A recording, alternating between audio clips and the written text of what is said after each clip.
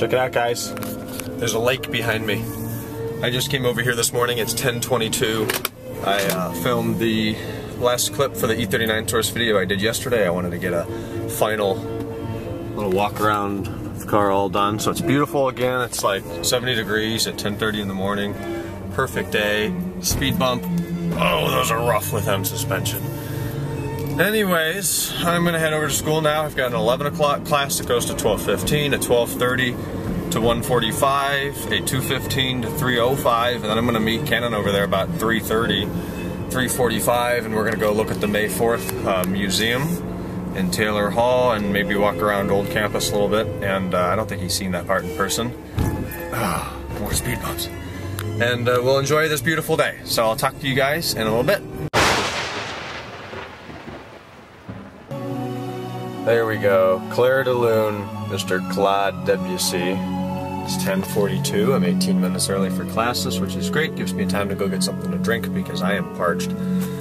Uh, we got a Ford, Ford Explorer up here ahead of, ahead of us.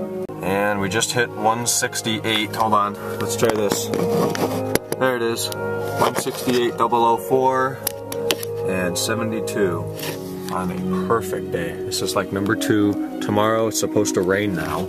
So um, I have to be here from 110 to 145-esque-ish, 130, 140. So I, I, hope it's not during that time. But if it is, then it's going to rain next week anyways. And at least we got the four weeks of filth off. So any progress is good progress, right? That's what Obama's saying. Many hours have passed. It's now some late time of the day, early part of the day, 12.02. And Halloween showed up. Uh, I am way late in doing anything, I know, but whatever. Haven't really had time, as usual. But now, been doing emails, talked with Colt for like two hours about the car. Uh, what's going on with that? Perusing Facebook. Very tired, ready to go take a shower. We looked at that museum today, walked around campus for a little bit with Kenan, that was awesome. It's a gorgeous day, last one we're going to see for a while. Tomorrow's Friday. Hope you guys are having a great week so far one class tomorrow, and then Yacht Club. It's been a while. Yacht Club's coming back. Talk to you guys tomorrow. Good night.